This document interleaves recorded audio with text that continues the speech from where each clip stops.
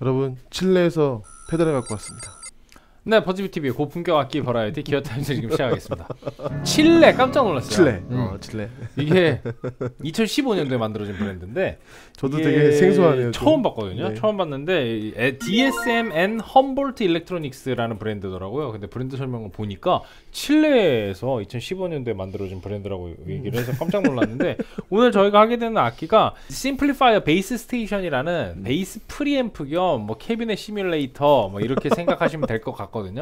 근데 기타에서도 이미 했다고 하시더라고요. 그 Player's Guide에서 이미 그 이름은 그거는 뭐 기타 스테이션 이런 거 아니고 그냥 Simplifier라는 이름만 가지고 기타 전용 악기가 나왔었는데 음. 굉장히 좋은 평가를 이미 받았다고 합니다. 그래서 베이스에서도 지금 상당히 기대가 많이 되는데 처음에 저 얘기를 안 들었으면 기타에서 이미 되게 좋은 평가를 받았다는 얘기를 안 들었으면은 의심부터 했을 욕할 어. 뻔했죠. 그죠? 뭐야 이거 이 도대체 뭐야 막 이런 얘기를 했을 것 같은 그런 되게 충격적인 비주얼의 그런 악기인데 그리고 심지어 작아 이렇게 knob가 많을 거면 좀 크게 만들어놨으면 시인성이 좋을 텐데 또 작아가지고 엄청 뭔가 많이 봐야 하는 약간 그런 느낌입니다.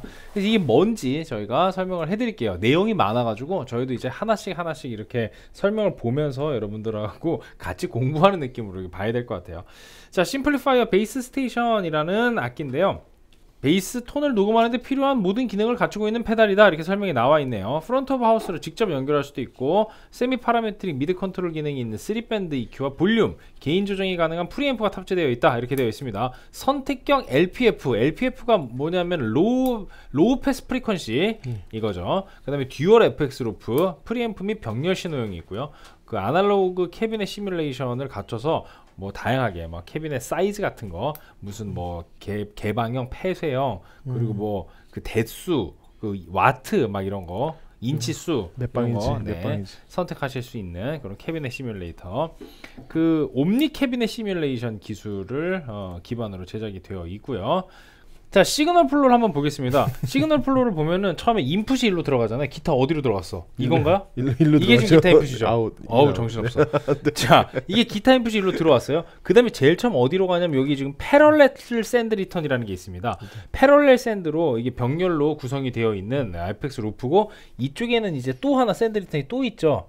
그 요거 프리앰프. 이거 이제 프리앰프 send return인데 이쪽을 가게 되면은 이게 어떻게 되냐면은 병렬 이 프리앰프 입력 이전에 나와요. 그러니까 여기 있는 이 프리앰프 말고 기본 시그널 자체가 들어갔을 때 그 signal을 가지고 이미 거기서 send return을 돌려버리는 겁니다.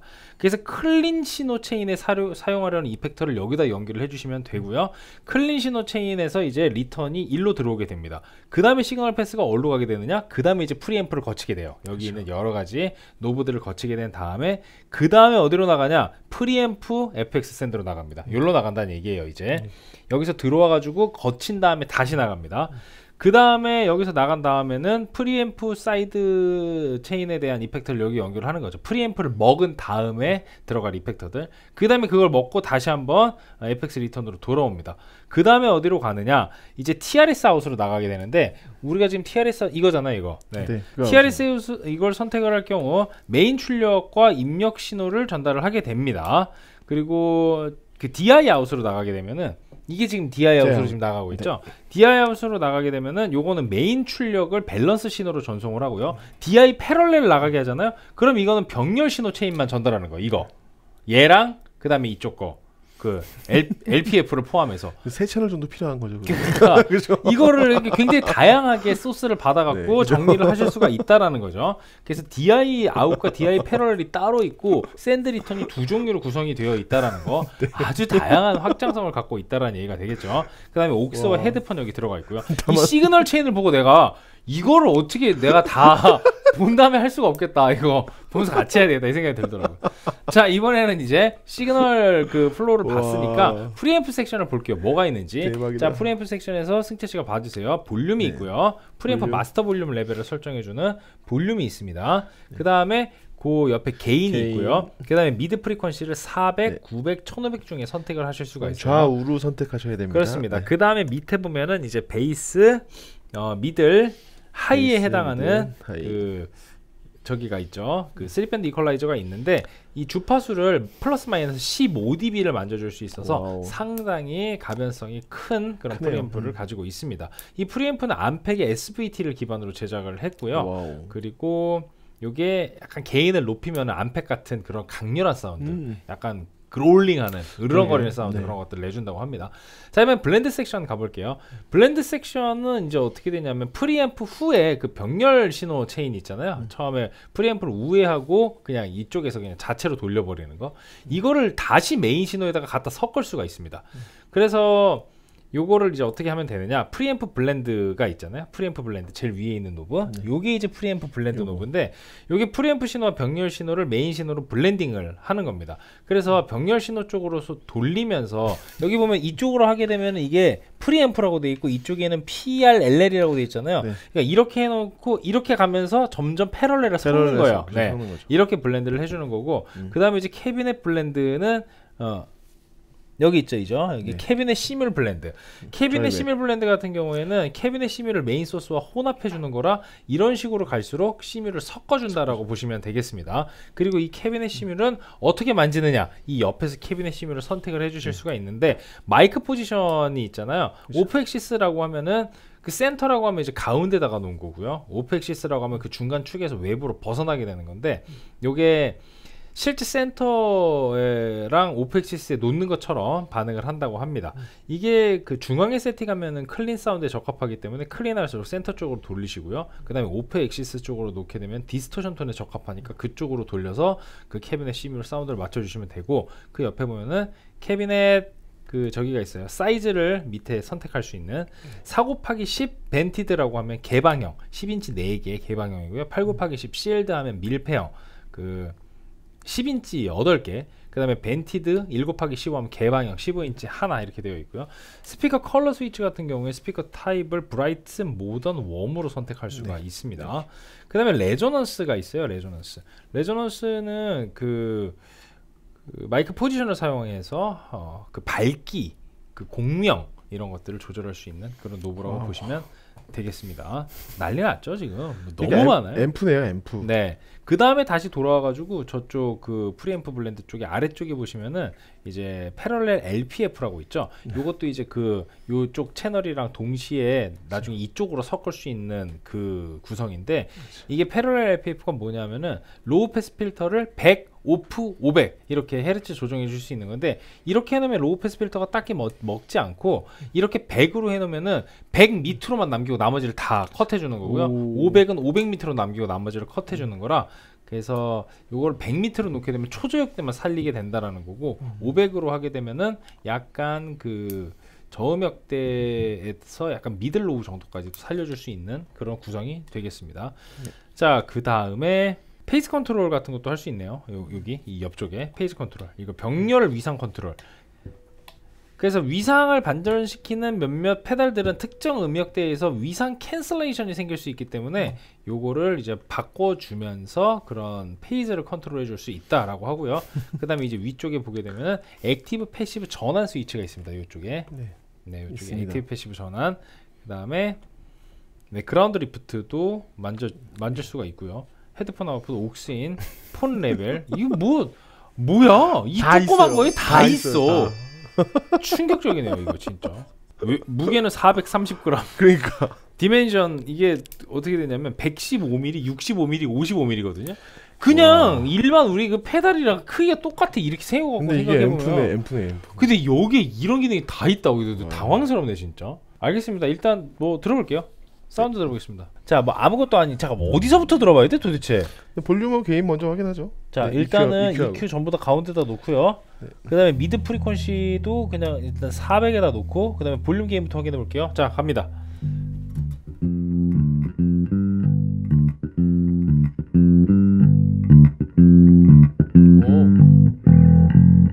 오. 오, 일단 기본 톤 자체 좋아요. 이거, 이거 Ampeg 아, Ampeg인데 진짜. 어.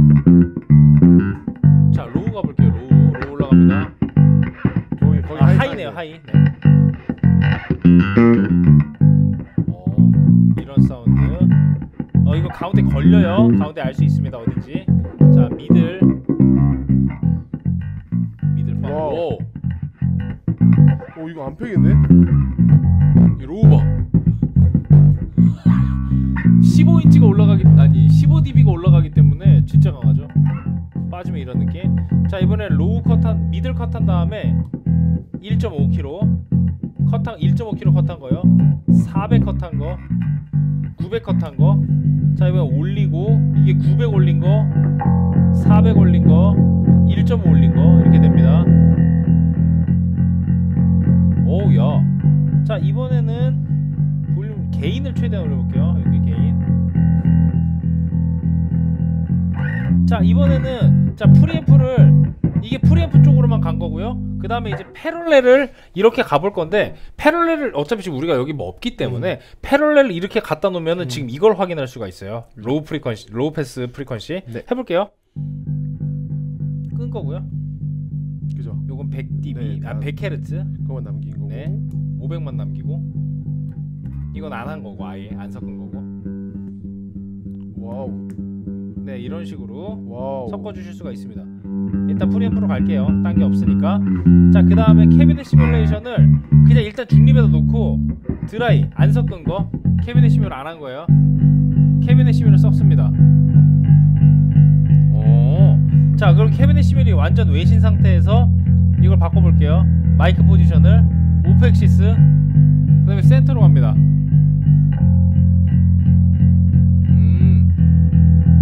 off axis 센터. 자 그 다음에 스피커 컬러는 bright. modern. warm. 별일이다 진짜.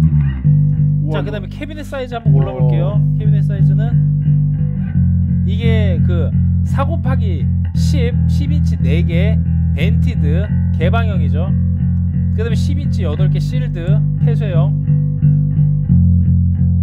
그 다음에 15인치 한개 개방형? 진짜 웃긴다 얘. 와 이거 quality 되게 되게 좋네요. 그러니까 할 수 있는 게 너무 많은 거죠. 그러니까 뭐 딱히 뭐 FX 같은 거 이런 거 안 쓴다고 하더라도 기본적으로 약간 캐비넷 시뮬 좀 쓰고 나는 뭐 프리앰프 쪽으로 한 이 정도 그냥 세팅을 해놓은 다음에 그냥 신나게 만져가지고 내가 좋다고 생각하는 사운드 그냥 정의 갖고 그냥 할 수 있게 레조넌스도 너무 좋다. 어. 와. 얘 물건이네요 진짜. 와 장난 아닌데? 어. 아니 이, 이 뭐야 요만한 거 이게 다 된다고 이게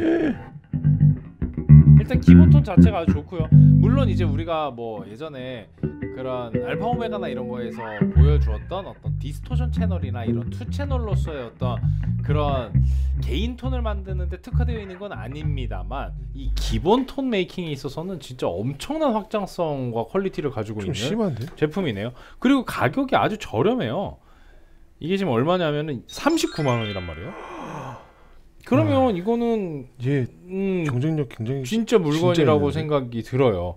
그냥 이거에다가 뭐 distortion 넣을 수 있는. 어, comp 하나에다가 이거에다 comp 어, 하나 드라이브 하나 어, 끝. 있으면 끝.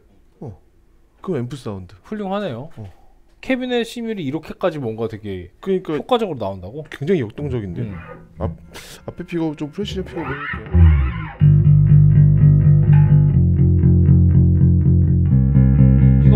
포지션 따라서 바뀌는 거 봐. off-axis 센터. 그 다음에 그냥 이것만 해도 bright modern warm만 해도 완전 달라져요.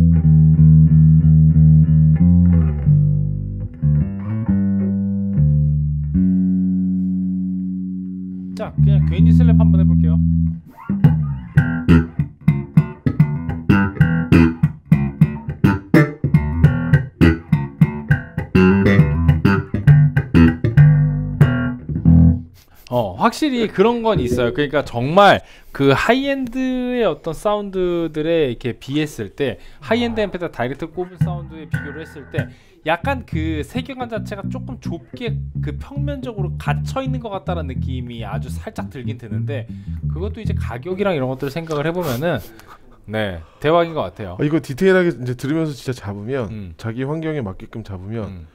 거의 뭐 확장성은 진짜 대박일 것 같습니다. 네. 자 이제 저희가 지금은 프꽂프 꽂힌 거죠? 프꽂프. 그러니까 Markbass input에다 들어갔기 때문에 이건 어떻게 보면 엄밀히 말하자면 Simplifier 플러스 Markbass 사운드라고 보셔야 될 것 같고요. 지금부터 모니터 할 거는 이제 온전히. Markbass 뒤쪽으로 return으로 들어갔기 때문에 그냥 파워만 빌려 쓴 거지 마크하고는 상관이 없어요. 네. 그냥 단순히 그 우리 요거 캐비넷으로 사운드, 사운드 보내기 위해서 파워 앰프만 빌려 쓰는 온전히 Simplifier 사운드입니다. 들어볼게요. 네. 기본부터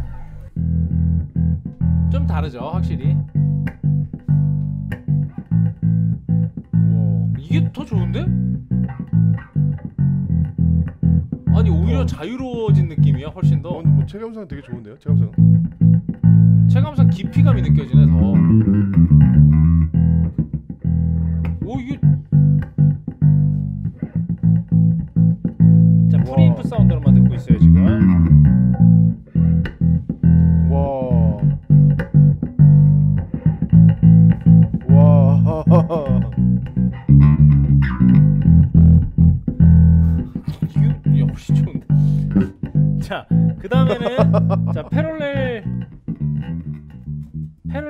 연결된 게 없으니까 지금 딱히 뭐 없죠.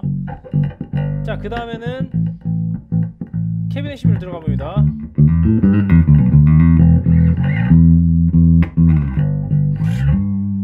자 마이크 포지션은 off-axis에서 센터로 갑니다.